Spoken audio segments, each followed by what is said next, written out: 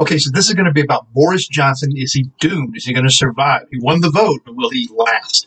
And then also it's going to be a double whammy because we're going to talk about Lilibet, Mountbatten Windsor, and her future. I hope you like the video. If you like the video, please do like it. If you haven't subscribed, please do subscribe. And thank you very much for watching.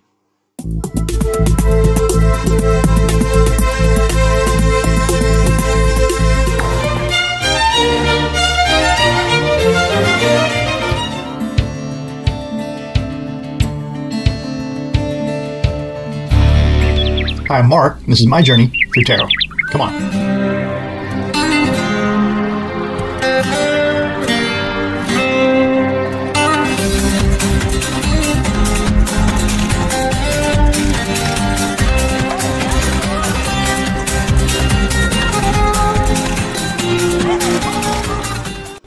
So, as everybody knows, um, Boris Johnson won the vote, uh, but he had a large number of his own party who don't support him. So, a lot of people think that he won't survive in the long run because of that. So, that's what we'll look at. Just a quick draw on Boris Johnson. Then, we're going to see if Lilibet uh, has what her future is. Is she going to change the atmosphere of the monarchy? Okay, so we'll take a look at that. We'll look at the cards now.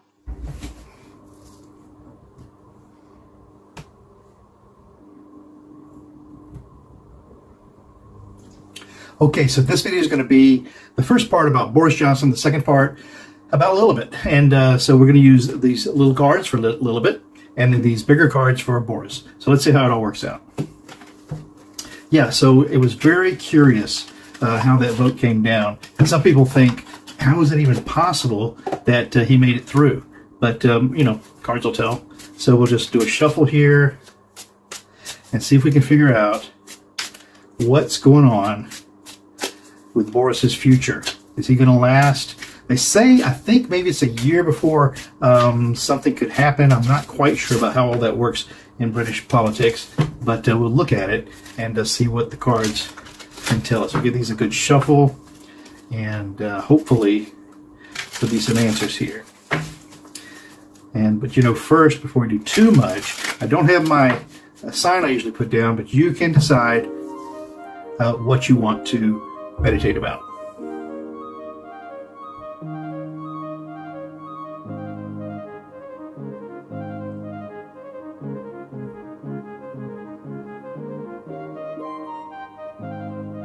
Okay. Boris Johnson's future. Simple, quick, uh, Celtic cross. We'll see what the cards tell us. Boris Johnson, what's in the cards for you? It's uh, four cards to begin with. So one, two, three, four, five, six. Then we'll do four more cards at the end of this to see where we are. Boris Johnson, what is the signifier card for your future? Are you going to last? Okay, so here we go. This is the uh, these are pentacles. This is seven of pentacles. Seven of pentacles is wondering if you've done enough. Very appropriate because you got one, two, three, four, five, six, seven. Uh, value, worth. Um, have I done enough? Is there more I should have done? That's the seven, seven of pentacles for Boris Johnson. Sounds right. He's wondering, is there more I could have done? Now, the uh, challenge to that is the Knight of Pentacles, some more value. You know, the Knight is the fighter of the royal suite. This is the guy who's going to take his charge and he's going to bring um, the mission uh, to fruition, perhaps. So the challenge to is, uh, have I done enough, is the fight that's about to ensue. The base of this whole reading is the Queen of Cups. So the Queen, I don't think this is actually the Queen, uh, but I believe this is a symbol of the compassion, of cups of compassion, emotion, uh, heartfelt situations. So I think the base of this whole thing is the heartfelt compassion or situation that the British people are dealing with in this uh, Boris Johnson situation. Then the past of the reading, justice. So justice will prevail. Uh, and this is a major arcana. This is number 11 of the, of the major arcana. So we're more than halfway through the Fool's Journey. And so in the past, um, is a justice card means he's traveled a long way, but it looks like justice in the end will prevail. But does that mean against uh, Boris or for Boris? The sky of this reading is the Fool, and just like I said, the Fool is the very beginning of the journey. So it looks like he got a restart on this. This is the point where we're going to see um, is he going to just fall off the cliff, or is his intuition, is the sun shining down on him? Has he taken enough that he uh, has with him to complete this journey? So that's what we have here. And then the likely outcome of the first part of this is the King of Swords. You know, the swords of truth, justice, rules, and law. And this is the King of Swords. So this is the absolute ruler of the uh, royal court. The truth, justice, rules, and law of this situation are what's going to uh, prevail. Now, for the last four cards, I'm just going to take them right off the top of this stack. Okay, so the uh, very um, self of that question, of Boris Johnson's future. Well, we have the moon. We have secrets being revealed. Now, that's pretty scary because what does that mean? That means there could be things uh, that come out, if there haven't been enough secrets already, more secrets that are going to determine uh, what happens with Boris Johnson. And that doesn't sound like a good thing.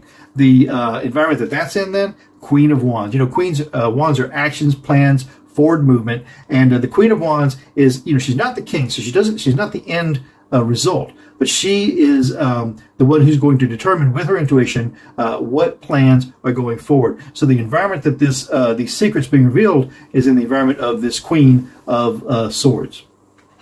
Now the likely outcome of everything is this magician. So this is having all the tools on the table that you need to make a thing come to pass. This is in the hopes of the fears. And so this would be uh, Boris Johnson's hopes is that he has every tool that he needs to uh, work his way through this. And so far he has. He's always been the one who can who uh, finds a way to wiggle his way through the uh, through the uh, quagmire of his problems. And then the likely outcome of the whole thing is look at that. It's the Ten of Swords. Truth, justice, rules, law. Ten of Swords stabbed in the back end of a cycle. It looks like something's going to happen here in the final outcome that uh, that takes Boris out. Does it mean he won't uh, be in for another term? Does it mean that this term will be short? Only time's going to tell. But just to read it over again, so the first, the signifier of the whole reading is uh, wondering if you've done enough. That's what you're worth. Have you done enough to uh, clean up the situation? Is there more that you could have done? And it's challenged by the Knight of uh, Pentacles who's going to fight for his value. And it's underscored at the very bottom of this reading with the Queen of Cups who's telling us uh, with her compassion, with her emotion, and I think this is a very emotion, emotional situation for the country. So that's what's supporting all of this. It's just right on that edge. The past of this reading with justice is telling us that justice has prevailed. Okay, there's been uh, uh, a telling of what's going to happen, but that's in the past. And in the sky this reading is the Fool, uh, letting us know that this is now a new journey. There's a new path that he has to follow. But then the likely outcome of the first part of this, with his King of Swords, is uh, truth, justice, rules, law. The king is the king, and he's going to make sure that things happen the way they should. But the very self of that question, then, is with this moon card, secrets being revealed. So this is telling us that there is something more to come out, and it's in the environment of what? It's in the environment of this Queen of Wands, who is a very compassionate queen, but she's got a plan, and her plan is going to uh, take uh, precedent. It's in the hopes of the fears for that then is a magician. This is Boris having all the tools that he needs to pull out of his bag to make a thing happen. But in the final outcome, you got the Ten of, of Swords, which is you know, it's the end of the road. So what does it mean? Is at the end of the road, there's he won't be back again for another term, or does that mean that this is going to eventually be that he'll be taken out before the end of his his term? Now, I guess we'll just have to see. But what I want to do now is I want to go ahead and put right on top of this the cards for Lilibet. So Lilibet got a chance to meet the Queen. It's her first birthday, which is amazing that that should happen during the Queen's uh, uh, 70 year celebration. I think, anyway. So I'm going to take these tiny little cards, which represent that tiny little person, a little bit, and see uh, what we can figure out from that. Now, we've already had a nice meditation, so we're not going to go through that part again um, unless you feel like you need to. Stop the tape, uh, get your head together, because your interpretations of these cards is every bit as valid as mine. Okay? These are so little, they're so uh, demitasse that I feel like I have to handle them with what? With kid gloves. okay, so the uh, signifier for a Lilibet then we're going to take uh, right out of the stack. Uh, we're going to go right here and say the signifier for Lilibet and her future then is uh, the two of pentacles. You know, pentacles are value, they're worth, they're um, of the earth, and the two of pentacles is finding that balancing act, really making a thing uh, work perfectly. So Lilibet's future somehow involves that balancing act. Now, the second card we're going to pull out of this for Lilibet's future and how it might affect the monarchy uh, the uh, challenge to that, look at this. This is the Five of Cups. Cups are emotion, compassion. The Five of Cups is looking at, you've got three that are spilled, two that are left. So you're looking at what have I done uh, that I can do more of, okay? So we got that right there. Now, the uh, base of this reading then is going to be the Knight of uh, Cups, cups of compassion, emotion, and the knight is going to fight for his compassionate issue. Okay, and then in the past of this reading, right here, we've got the Hierophant. So it's all about the government. It's not really the government, but the structure of the monarchy, maybe in, in, in with the government. The uh, sky of this reading for a Lilibet is uh, this Ace of Swords. Truth, justice, rules law. This is what's going to rule the day.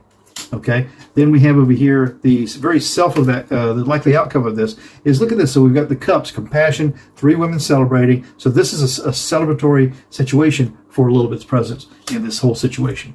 Now we've got the, um, uh, the signifier of the question, which is this Five of Swords, truth, justice, rules, law. The Five of Swords is kind of a betrayal, the kind of um, uh, feeling as if you've been taken advantage of. Interesting the um, environment that that's in then is the Queen of Pentacles, the value, the Queen of Pentacles, knowing the value that you have. And that's the environment that that's in.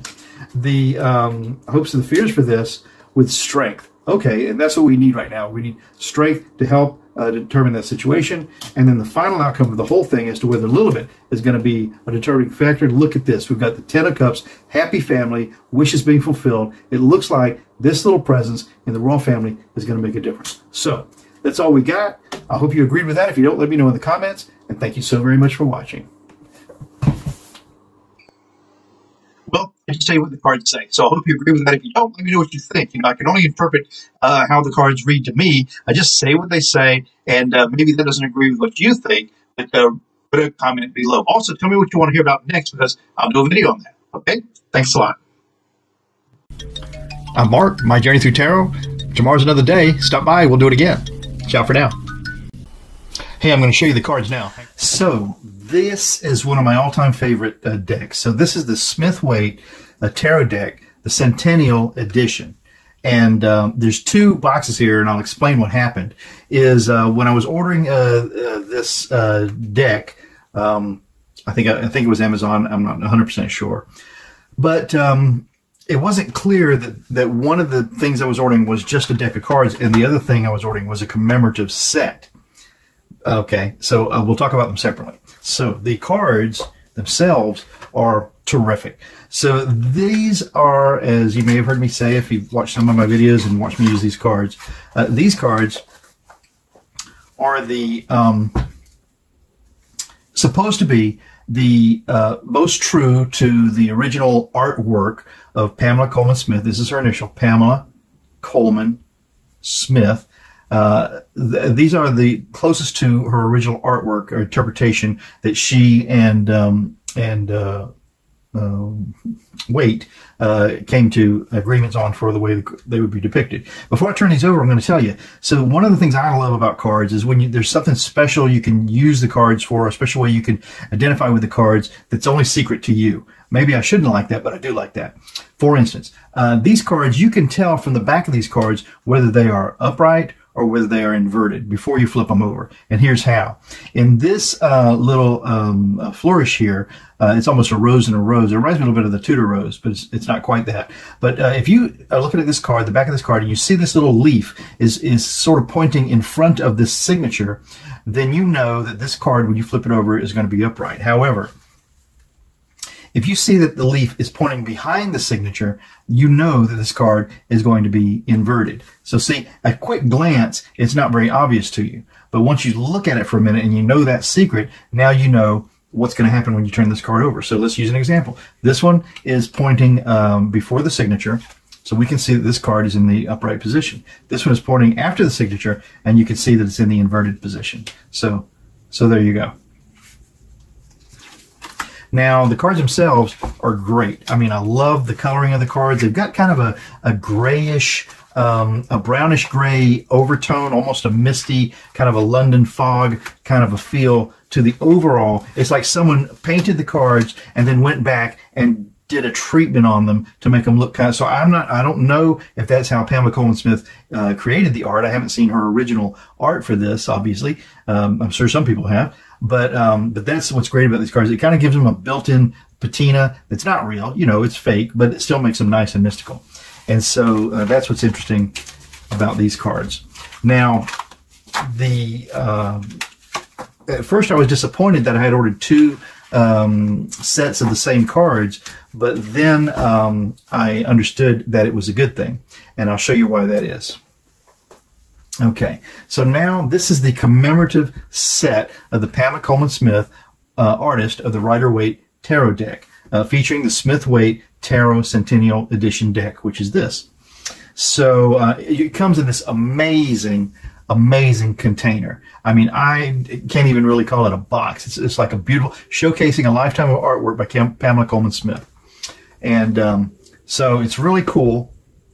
And wait till you see how it works. So you open this treasure chest up, and you've got this beautiful uh, finish here, and you got wonderful little tabs where you can pull back the uh, the covers and see what's inside. And what is inside is a, a pack of the cards. Uh, and in truth, what's happened is um, these were the cards that were wrapped up inside this box, and uh, these cards uh, came in that box. But um, I got this first, and so I wanted to use the cards, so I opened it up, and oh, look at that. And I don't like that. This has to be tucked down in there. So there's a couple things that aren't perfect. But uh, so I took the cards out of here, opened it up, started using them, and then the other cards came, and I realized, oh, well, I can make this a complete set if I put these in here. What's in here? Of course, you have the cards, and uh, then you have a nice little bag uh, to keep them in, if uh, if that's how you're going to keep your cards, and so many people do. But uh, I've just chosen to try to leave these cards in kind of a pristine condition. And then on this side is where all the treasure happens. The first thing you have is this booklet, The Artwork and Times of Pamela Colman Smith, artist of the tarot, tarot of the Rider Waite Tarot deck by Stuart R. Kaplan and Lynn uh, Arjo, I suppose. So this is who wrote this book. In this book, it tells you all about uh, you know, not all about, but it's it's it's, it's a very good information about Pamela Colman Smith. It's a lot of her art that's not related to tarot and explanations of how that art came to be. I mean, this is just a fascinating book, and I love it. I love it a lot. So there's that. The next thing that was in here are these are actually postcards. Okay, so these are postcards, and all of these are the art of Pamela Colman Smith. So, uh, and then this book talks about these postcards and why they come to be, and they all have a very interesting uh, story. So, which I won't go into now, but if you think you'd like to know, you should order these cards. So, very interesting uh, stuff here. Love it, love it, love it, love it, love it. Okay, next thing you're going to get is you get some uh, larger pieces that uh, this is Pamela Colman Smith, who I understand like to be called Pixie uh, as a nickname, and she's a lovely person this um, is uh, someone that she knew, a, a stage uh, actress at the time, and um, and there's even a little uh, message down here. The the name of this person is Mistress Page, and then you are a you are Mary. So am I. Haha. Uh, Ellen Terry. So uh, I'm not sure now, but the, the book explains all of this to you. Then you get, uh, this is an example of just some black and white work she done for, for I don't know what, it doesn't tell you on here, but it does tell you in the book. And then this is some more examples of what she might have done for playbills or uh, other ways. You know, artists have to make a living, so they use their talent of making art to uh, sell and, and do other things. So love, love, love everything that came with this. And, um, amazing. Now, the final thing, and I've, I've lost a little uh, ribbon, but also this uh, has a ribbon here that, that, helps you pull everything out, which is so smart and so good. I don't know who thought of it first, but it's a great uh, use of that. And then you have here the actual uh, pictorial key to the tarot. So some of you may have seen me using uh, this book, which is the pictorial key to the tarot by Waite. And uh, so this is just another uh, representation of that, but just in a different book. And it all comes in here. The one thing that you're missing here, I don't think the cards are in this book. No, the pictures of the cards uh, aren't in here, but it's terrific. Everything else is true to that first book. Uh, this one, however, which I bought separate from an uh, online bookstore, uh, does have uh, depictions of the cards in it, as you can see. So that's very useful. to use that all the time. So very handy to have.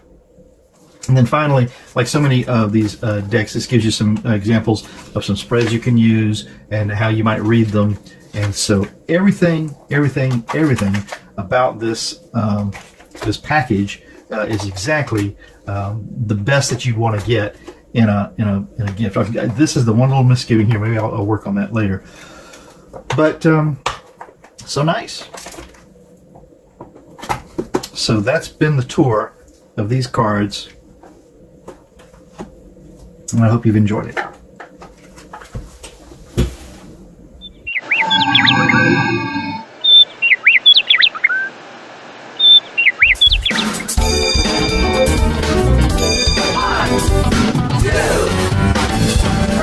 You really make a big difference. Thank you.